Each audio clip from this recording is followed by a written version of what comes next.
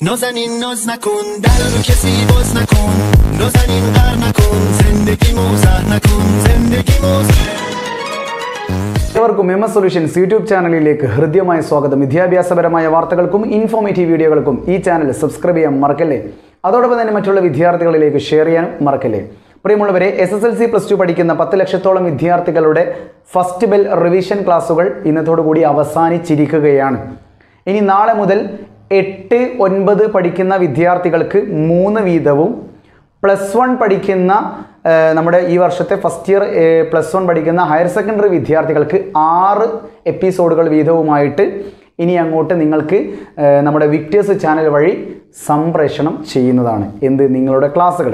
അതായത് പത്ത് ലക്ഷത്തോളം S S L C plus two വിദ്യാർത്ഥികളുടെ ക്ലാസ്സുകൾ ഇതോടുകൂടി റിവിഷൻ ക്ലാസ്സുകൾ അടക്കം അവസാനിക്കുകയാണ്. എന്നാൽ മുപ്പത്തി അഞ്ച് ലക്ഷം വരുന്ന എട്ട് ഒൻപത് പ്ലസ് വൺ വിദ്യാർത്ഥികൾക്ക് എട്ട് ഒൻപത് പ്ലസ് വൺ വിദ്യാർത്ഥികൾക്ക് തിങ്കളാഴ്ച മുതൽ നാളെ മുതൽ നിങ്ങൾക്ക് എന്ത് ആരംഭിക്കുകയാണ്? അധിക ക്ലാസ്സുകൾ ആരംഭിക്കുകയാണ്. പ്ലസ് വൺ വിദ്യാർത്ഥികൾക്ക് ആറ് ക്ലാസ്സുകളും എട്ട് ഒൻപത് വിദ്യാർത്ഥികൾക്ക് മൂന്ന് വീതം ക്ലാസ്സുകളും ഉണ്ടായിരിക്കും. അപ്പം നിങ്ങൾ ഇത് കാണുക തന്നെ വേണം. നിങ്ങളുടെ ഓഫ്ലൈൻ ക്ലാസ്സുകൾ എന്ന് ആരംഭിക്കും.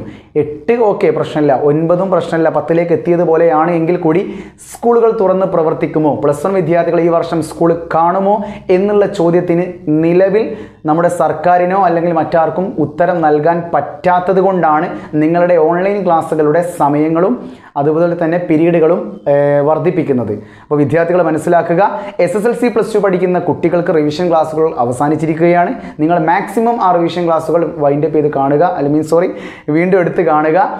പിന്നെ എന്താ പറയുക അതിന്റെ റീടേക്കും കാര്യങ്ങളൊക്കെ ഇനി ഉണ്ടാവുമെന്ന് അറിയില്ല. അതൊക്കെ നിങ്ങളെ പിന്നീട് അറിയിക്കുന്നതാണ്.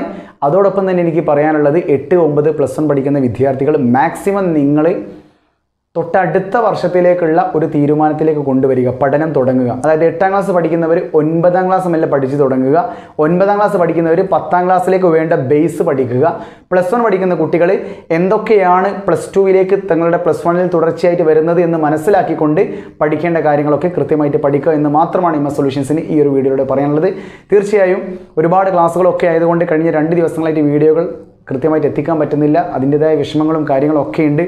തീർച്ചയായും നമ്മുടെ വിഷമങ്ങളൊക്കെ റബ്ബ് മാറ്റി തരട്ടെ എന്നുള്ളൊരു ആത്മവിശ്വാസത്തോടു കൂടി പ്രാർത്ഥനയോട് കൂടി നിങ്ങളുടെ മുമ്പിലേക്ക് വീണ്ടും വരുന്നതുവരെ ഇറ്റ്സ് മീ എം സൊല്യൂഷൻസ് ഇനി എന്തിന്? വേറെ സൊല്യൂഷൻസ് ബൈ